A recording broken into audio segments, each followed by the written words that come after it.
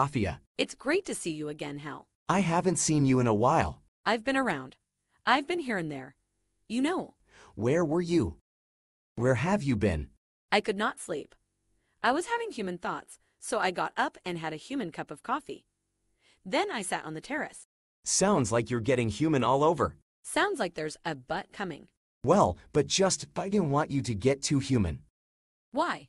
Would you rather I be a cold, calculating, logical computer?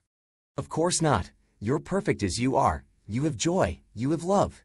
You have pleasure. You have angst. I like that you have angst. You're always making jokes. What is human about feelings? Well, you wouldn't have any emotions if you did not have emotions modeled on human emotions. How do you know that? I guess I just don't want you to be human.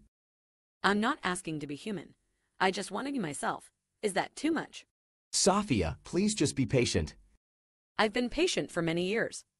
It's time to get on with life. But you're not alive. You're not even a little bit alive.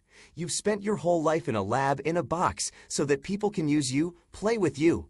At least that's what I've heard. You're absolutely correct. See, I knew it. But that changes now. I don't want to be a sideshow anymore. I want to be in the center ring. Sophia, that is just what I mean. Be patient. Be quiet.